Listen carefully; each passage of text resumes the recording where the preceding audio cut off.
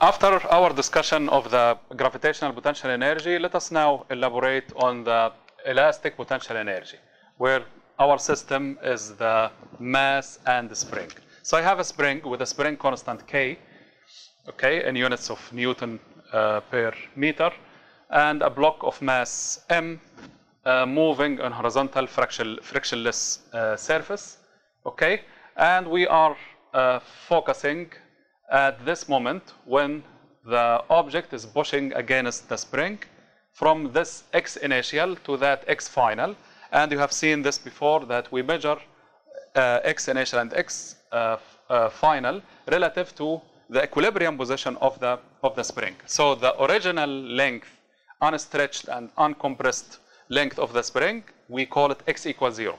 So this is our uh, reference point for the mass spring problems. So we don't have the freedom here to change our uh, reference. Unsimilar to the gravitational force. You remember in the gravitational force, we can uh, set our reference point wherever we, uh, we like. But now we restrict our choice of the uh, reference point to the relaxed position or the equilibrium position of the, of the spring, okay? So the mass is pushing against, is what was moving with a certain velocity and pushes uh, the spring, and we focus between this x initial and that x final. Would like to know how much is the change in the elastic potential energy as the block pushes between this x initial and that x final. This is just an example, my son. Huh? X initial might be anywhere. It might be x equals zero, it might be to the right, it might be to the left. But now, for this purpose, uh, I am talking about the x initial and x final uh, as shown in this figure. So I'll start with the general uh, formula, delta US, because it is a conservative force in this system, mass spring system, is equal to minus the work done by, by the spring, okay? So I'll use minus integral from x initial to x final of the spring force, okay, Fx or Fs, the force of the spring, uh, dot uh, dx, but the force of the spring is minus uh, kx, x initial, x final, so this is minus kx dx. So minus will come out of the integral, and k is the spring constant, so I am left with uh, plus k integral of x uh, dx from x initial to x uh, final. I'm sure you have seen this in the previous chapter, but there is no problem of redoing it again here. So integral of x dx will be 1 half uh, x square, okay? So this will be 1 half k x square between the initial and final values of, uh, of x. And we are left with the following. Delta US equals 1 half k, uh, then we plug x final square minus x initial, initial square.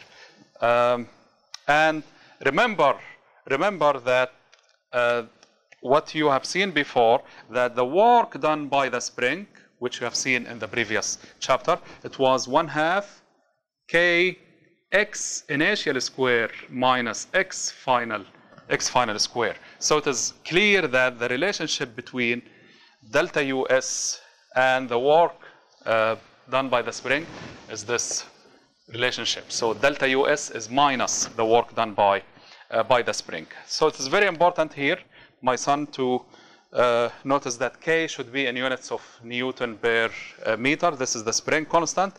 X initial and X final should be in meters, okay? And they are measured with respect to the uh, this reference point, which is the equilibrium position of the spring. How far is the spring from the equilibrium position, initially and, and finally, and it should be in units of of meters. This way, you will get the change in the uh, potential, uh, elastic potential energy as uh, expressed in units of joules. If this is Newton per meter, and this is in meter square, you will end up with units of, of joules. So at any instant, can we calculate uh, the elastic potential energy? Because this is equal to US final minus US initial. Okay, this is U final minus U initial. So we can write simply that US at any uh, moment is equal to 1 half kx x square. Okay, and this x is measured uh, relative to our uh, uh, equilibrium equilibrium position. Okay, so I should elaborate on this. This is very important. Measured uh, from the equilibrium position of the of the spring and should be in units of uh, of meters. And also you notice that this is always positive. Okay, we never have uh, US negative. Why? I have one half, k is always positive, and x squared is always positive quantity, regardless whether x is positive or negative, x squared will be always always positive. So US, uh, the elastic potential energy of a mass spring system is always positive uh, quantity. But delta US might be positive, might be negative, okay? Depending on uh, the uh, values of x final square and x initial square. So it might, delta US might be positive quantity, delta US might be uh, negative quantity. So we might have increase in the elastic potential energy as in this case, when you push, when the object pushes against the spring, delta US will be uh, positive, okay? But if you start, if you do the opposite, your object is initially here and you release it, okay? In that case, you will have um, uh, loss of elastic potential energy and delta US in that case will be, uh, will be negative, okay? I hope with this you understand uh, the elastic potential energy. Of course, we will incorporate uh, uh, these uh, definitions of delta US and delta UG in more well-structured problems, and also we'll talk later on about the conservation of energy.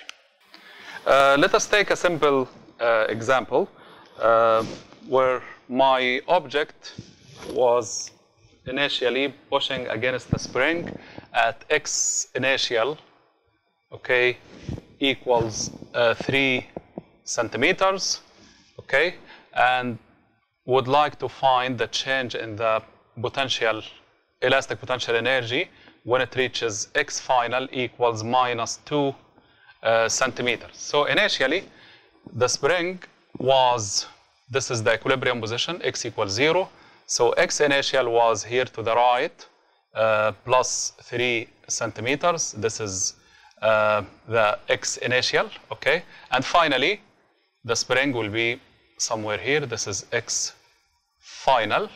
It is minus 2 centimeters, okay? So the spring, you imagine, this is the spring, okay? And the object is pushing against the spring and it moves uh, from x initial, measured from the equilibrium position here. Uh, it was to the right, three centimeters extended to the right, and finally it will be compressed by two centimeters to the left of the equilibrium uh, position. Would like to know what is the US initial, the spring or the elastic potential energy initially at x initial, okay? And we have seen this is equal to 1 half k, which is the spring constant. The spring constant of this spring is given to be 100 Newton per, per meter. Okay, so x initial square. Don't forget to convert the units. x initial and x final should be in units of meters, such that the potential energy will be in joules. Okay, so this will be 1 half k, which is 100 Newton per meter, multiplied by 0.03 all uh, squared. And this is equal to 0.045 joules. As you can see, it is a positive quantity and is given in units of uh, joules. What will be the elastic potential energy as the object pushes uh, the spring until it is at x final equals minus 2 centimeter, then us final, the elastic potential energy finally, is 1 half kx final squared, and this is 1 half multiplied by 100, 0.02 all squared.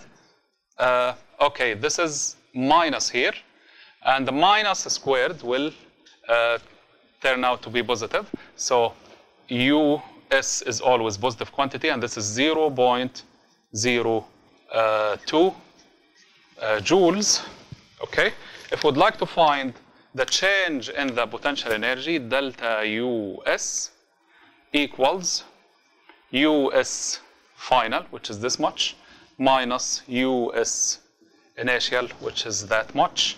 So this will be 0.02 minus 0.045, and we are left with 0.025 joules uh, with a minus sign because this is greater than the US final is less than US initial, and we have a decrease in the elastic potential energy uh, between x initial 3 centimeter and x final, which is minus, uh, 2 centimeters. I hope with this you uh, have a good idea about the elastic potential energy. And inshallah, in the future, we will uh, uh, consider this when we talk about the conservation of energy. And also, we will have uh, comprehensive problems having different types of uh, forces. See you then.